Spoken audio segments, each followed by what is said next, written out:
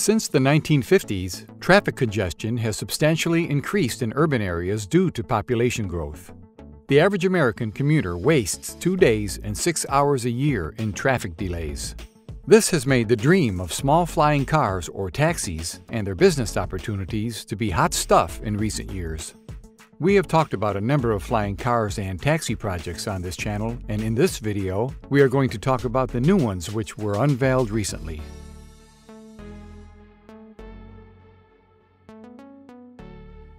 Meet the LIFT Hexa.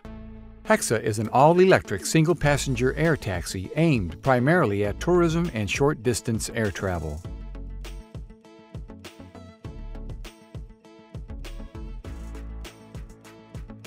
This ultralight aircraft is fitted with four perimeter floats that provide stability and a large central float which provides buoyancy for safe water landings.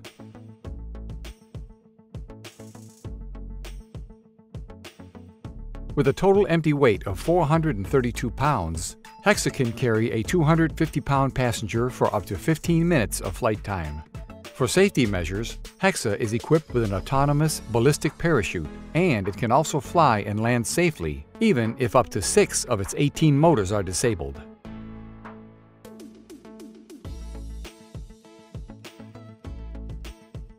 LIFT Aircraft is one of the 15 companies which are members of Agility Prime, the United States Air Force initiative to accelerate the commercial market for advanced air mobility vehicles.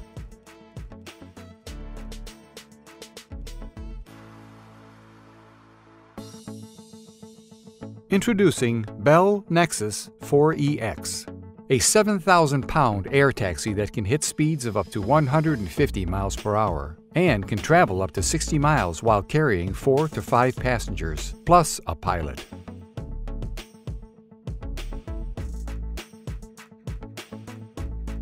The Nexus is equipped with four tilting, ducted rotors and it can operate as an electric-only or a hybrid electric vehicle.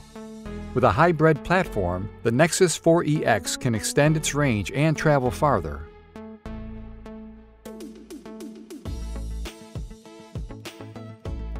The 4EX is the company's second version of the Nexus. The original version used six rotors instead of four. According to Bell, the four-rotor design reduces drag and is, therefore, more efficient in cruise mode.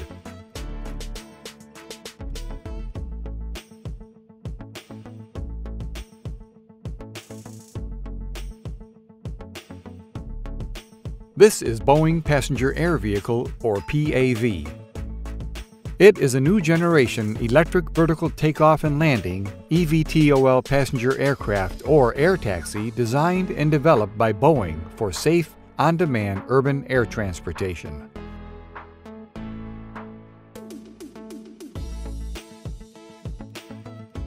Designed for fully autonomous flight from takeoff to landing, the PAV is able to autonomously transport passengers, plan routes, respond to contingencies, and detect and avoid unexpected obstacles.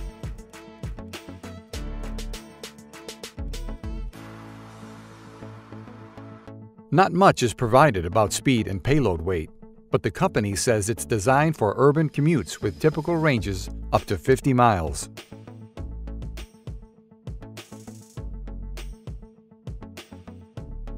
Meet Seraph.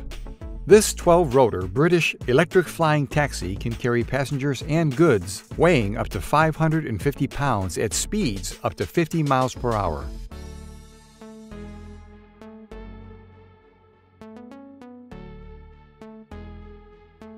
It features a unique passive cooling system and modular design so that it can be made larger or smaller, fitted with wheels or floats to facilitate water landings.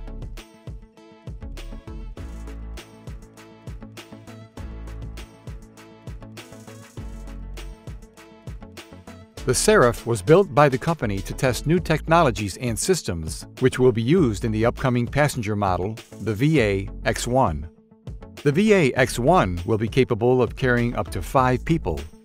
It is set to be the world's first certified winged all-electric VTOL aircraft and is on course to start commercial flights in 2024.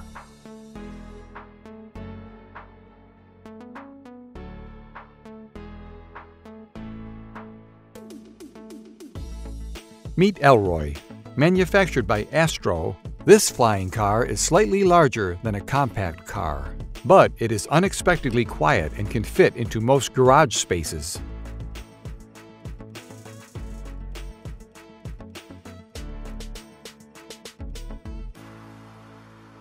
With its high-performance electric motors, this electric-powered vertical takeoff and landing vehicle can carry two passengers and travel at speeds up to 44 miles per hour, with a flight time of 20 to 25 minutes.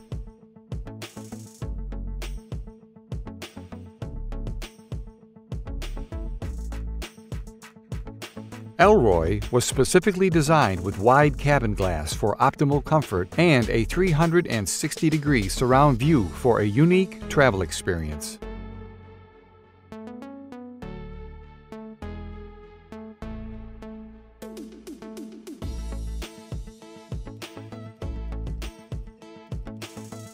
Introducing the City Airbus, this is a fully electric 4,850-pound air taxi manufactured by Airbus.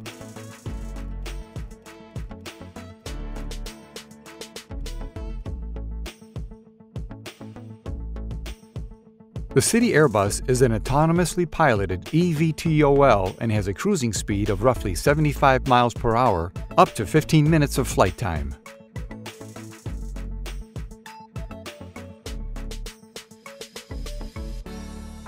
Powered by four 140 kilowatt batteries, its four sets of counter-rotating ducted propellers can each provide 881 pounds of thrust for a payload of up to 551 pounds.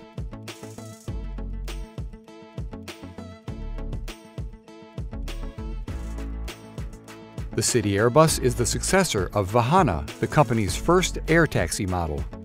Like its predecessor, City Airbus is also being used to gather insights that will guide the development of Airbus's future eVTOL models.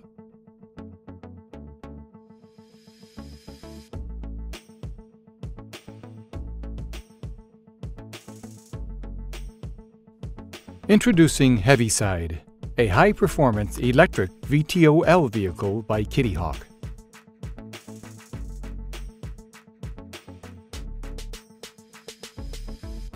After the successful 25,000 flights of its first flying car project, the Flyer, the company has decided to focus more on the Heaviside, a vehicle which they hope it can be turned into a viable business venture. Kitty Hawk claims the craft's electric propulsion system, tiny proportions, and aerodynamic shape make it roughly 100 times quieter than a regular helicopter and it can cover a 55-mile distance in 15 minutes while using less than half the energy of a car.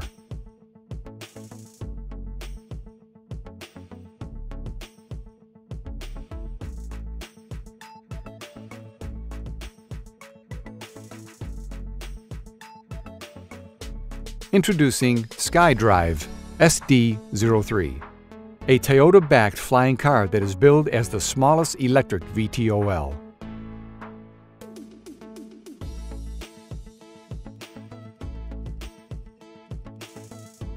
Equipped with eight rotors that help it fly safely even if there's a motor failure, this one-seat SkyDrive model can fly for only 5 to 10 minutes at a low speed of several miles per hour.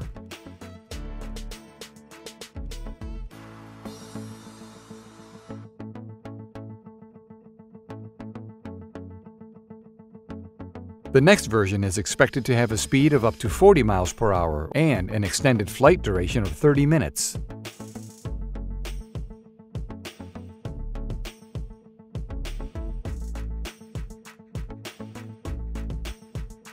With a length of 13 feet and 6.6 feet of height, the SD03 is just small enough to fit into two average parking spaces and ideal for urban use.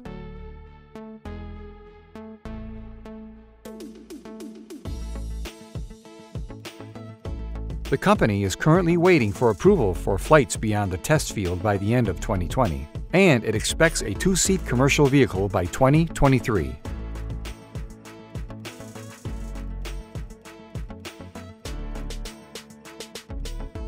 What do you think of these projects? Do you think we will have flying taxis for the general public anytime soon? Please let us know in the comments section below. If you enjoyed the video, please don't forget to like and share it with your friends. Over the past few years, some people have taken drones from small, almost toy devices for carrying cameras and alike to mini aircraft that are capable of carrying a single person or more. And now these supersized drones are touted as a possible future for personal transportation for both civilians and military personnel. These are still very early days. Years of testing will lie ahead before these are allowed to fly in public areas, so don't expect to see anything like this soon. But here we look at five of the drones you can ride in. The EHang 184 created a huge buzz when it was debuted at the CES 2016 show. They claim it's the world's first fully autonomous helicopter drone. The EHang 184 is a 200 kilogram 8 rotor aircraft which the company claims is able to lift a single 100 kilogram person up to 500 meters into the air and fly them at up to 100 kilometers an hour to any point on Google Maps, all whilst avoiding objects automatically and safely handling the takeoff and landing without the need of any piloting skills from the person being carried. The range is as far as it can fly with 23 minutes of flight time afforded by the batteries which have a recharge time of around 2 hours. EHang is keen to point out that in the event of a drone experiencing problems, human pilots housed in custom built command centres will be able to take over and guide you to safety. Hopefully there will also be a parachute should you have a complete power loss at 500 metres up. Price should be around about 180 to $260,000 each.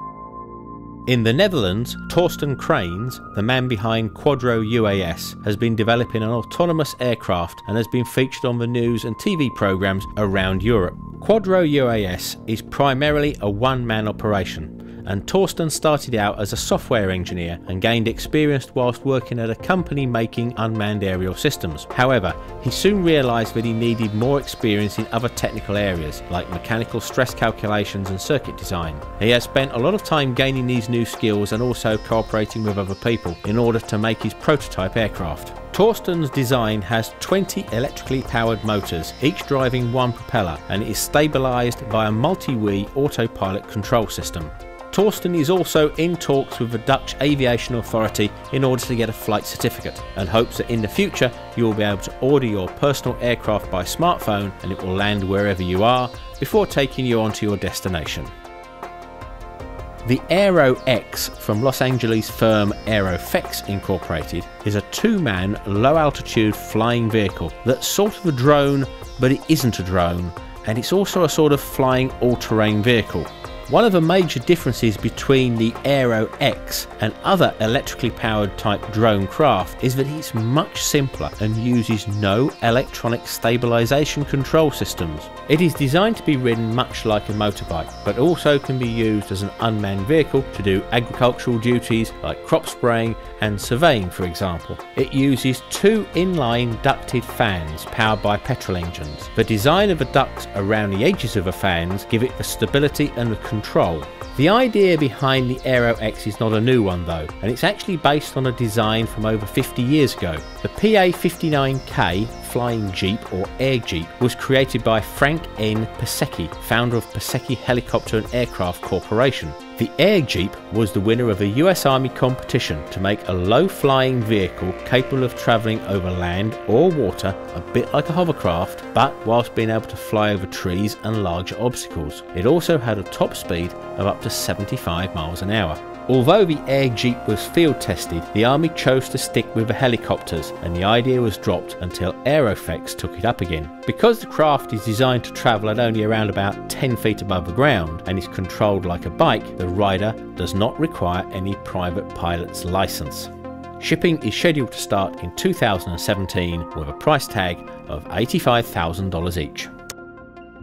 The Flike or flying bike is an electrically powered tricopter designed by the Hungarian Bay Zoltan Limited. The idea of a Flike was originally conceived in the summer of 2014 when a magazine article appeared that said that drones were okay as small craft but would not be able to carry the weight of a person. This gave the design team the idea to make a drone that could carry a person and in the space of a year they took the idea from the drawing board to their first manned flight. The six motor design is in a Y formation with the rotors on top of each other in a similar design to the EHang 184. Bay Zoltan are claiming that the Flike will be able to travel at an electronically limited height of 30 metres at up to 100 kilometres per hour. Carrying capacity of the Flike is up to 100 kilograms, and the flight time is up to 60 minutes with the extended range version. Because the Flike is fully stabilised and controlled by computer, the rider will require few piloting skills, though you may still require a pilot's licence like you do for a small plane or microlight.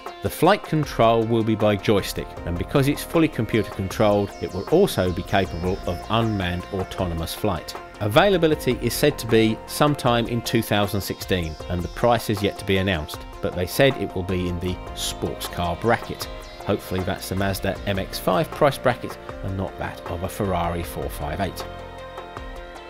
The German-made Volocopter blurs the lines between a drone and a helicopter and is aimed at those who want the flying experience of the helicopter but without the high costs and long training times involved. The layout of a Volocopter is similar to the helicopter with the rotors in a fixed grid above the main cabin and a similar size to the swept area of a normal helicopter rotor. The difference between the helicopter and a volocopter is that the volocopter has 18 electrically powered rotors and this means that there is much more built-in redundancy so you could lose a couple of rotors for example still be able to fly. Being electric it's also emissions free and it also requires much less maintenance than a traditional helicopter. Rather than being fully autonomous like the EHang, Volocopter wanted to give the pilot the fun of flying but with all the advantages that a fully computerized system could give. This would allow them to fly with just the joystick just like a computer game but also be able to switch to fully automatic if required. The computers take care of the actual flying, the takeoff and landing and can even compensate for turbulence. All the pilot needs to do is just point it where he needs to actually go. Plan is to have a single seater fun model and then a two and four seater models for commercial and private transport. Thanks for watching and I hope you enjoyed the video. If you did, then don't forget to please thumbs up and subscribe for more. And if you have any ideas for videos you'd like to see, then please let us know in the comments below.